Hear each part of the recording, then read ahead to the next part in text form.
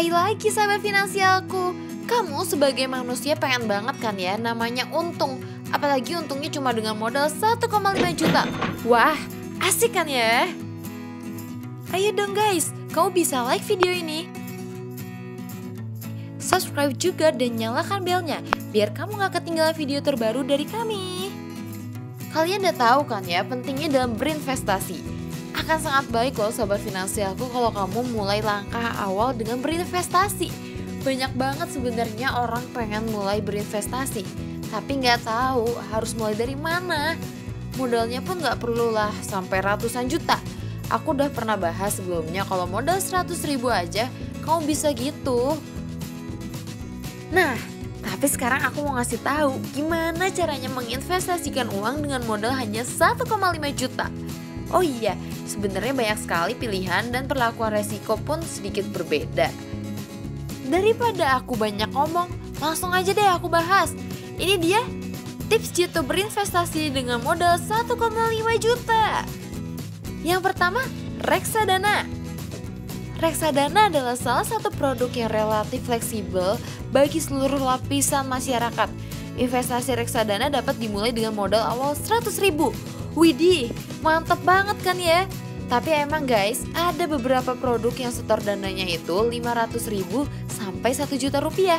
Dan kalau emang kamu modalnya 1,5 juta, pilihannya akan semakin beragam. Ada beberapa jenis reksadana. Ada reksadana pasar uang, reksadana pendapatan tetap, reksadana campuran, dan reksadana saham. Oh iya guys, kau pasti nanya, produk mana nih yang paling cocok dengan modal 1,5 juta rupiah? Jawabannya itu tergantung kebutuhan dan pilihan kamu sahabat finansialku. Dalam memilih produk reksadana yang tepat, kamu harus menggunakan profil resiko dan pilihan-pilihan kamu. Hanya aja dengan modal yang lebih besar, kamu harus lebih berhati-hati dalam memilih produk reksadana. Ya, bandingin aja tingkat kerugian kamu. Misalnya menghitung 1% dari 100 ribu dengan 1,5 juta jelas beda kan ya? Makanya harus beneran bijak banget deh guys dalam memilihnya. Yang kedua, logam mulia. Ukuran logam mulia yang diperdagangkan di pasar bisa beragam, mulai dari yang terbesar hingga yang terkecil, 100 gram, 50 gram, 25, 5, dan 1 gram, dan bahkan ada yang 0,5 gram. Umumnya, hanya per gram logam mulia yang lebih besar akan lebih murah daripada logam mulia potongan yang lebih kecil. Ibarat kayak beli barang grosur, lebih murah daripada membeli barang eceran.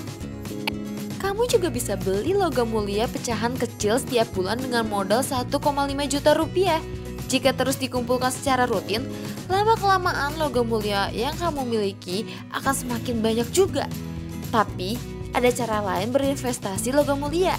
Kalau kamu punya kartu kredit sih, mending manfaatin deh untuk membeli logam mulia ukuran lebih besar dengan sistem cicilan. Namun, pastikan modal sebesar 1,5 juta tersebut bisa kamu investasikan setiap bulannya. Dengan begitu, modal 1,5 juta akan digunakan untuk membayar cicilan logam mulia yang menjadi alat investasi kamu. Yang ketiga, fintech lending. Dengan modal 1,5 juta, kamu nggak bisa beli obligasi seperti ORI karena modal minimalnya paling enggak 5 juta gitu guys. Tetapi kamu masih dapat menginvestasikan uang kamu untuk dipinjamkan kepada orang lain dengan menggunakan jasa fintech lending. Kamu tetap bisa mendapatkan keuntungan yang cukup besar dari pinjaman seorang debitur tanpa harus mengeluarkan modal yang sangat besar. Tapi jangan asal pilih sembarang fintech lending Pastikan perusahaan fintech lending yang kamu pilih memiliki reputasi yang baik dan benar-benar terpercaya. Begitu pula ketika memilih pinjaman yang akan kamu danai. Sebaiknya sih jangan terlalu serakah memilih bunga yang tinggi. Jika kamu nggak mampu menanggung resiko yang terkandung dalam pinjaman tersebut, biasanya bunga pinjaman yang menjadi keuntungan investor akan semakin tinggi jika resiko gagal bayar debitur semakin tinggi juga.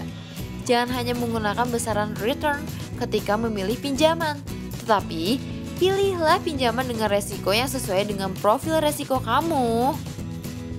Intinya sih, kamu mending pilih produk yang sesuai dengan jumlah modal dan profil resiko kamu sahabat finansialku. Dengan modal 1,5 juta rupiah, kamu bisa melakukan investasi. Kalau modal investasi makin besar, ya berarti besar pula potensi kerugian kamu. Pokoknya kamu harus berwaspada dan jangan sampai sembarang pilih gitu. Ngomong-ngomong kalau emang bingung mending download ebook dari Finansialku secara gratis.